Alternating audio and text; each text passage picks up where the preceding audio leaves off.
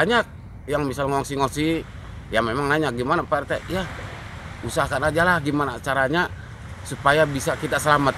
Memang ada yang ngongsi ada yang enggak dikarenakan ya takut kan lebih besar kemarin mah itu ya. Terus susulan lagi susulan lagi sampai jam tadi hari ini hari Senin ya jam 7.42 datang lagi. Ya memang masyarakat teresah gitu ya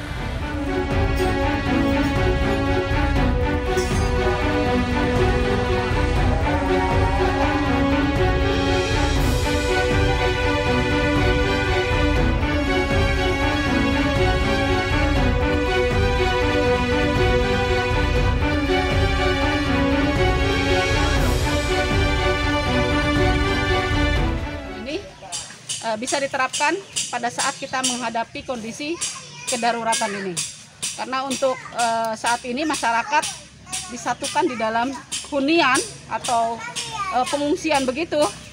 Kadang-kadang rasa mereka untuk memiliki atau suasana rumahnya mungkin agak eh, berbeda.